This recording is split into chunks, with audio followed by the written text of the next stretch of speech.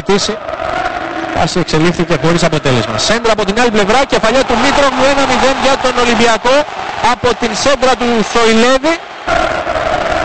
1-0 στο 31ο λεπτό δείτε μαλλιά κρυβίας από τον Σοηλέδη για τον Κώστα Μήτρογλου, καρφωτή κεφαλιά εκεί όπου δεν μπορούσε να φτάσει με τίποτα ο Φώτης Κυπουρός, δείτε ξανά. 1-0 ανοίξει στον αέρα τον Φέρστερ, ο επιθετικός ε, του Ολυμπιακού και έκανε το 1-0 στο 31ο λεπτό. Την μου ούτε ο Φέρστερ ούτε ο Βενέτης για τη Λάριση και εδώ από άλλη τη γωνιά η σέντρα του Σοηλέδη, δείτε. σε ένα σημείο που δεν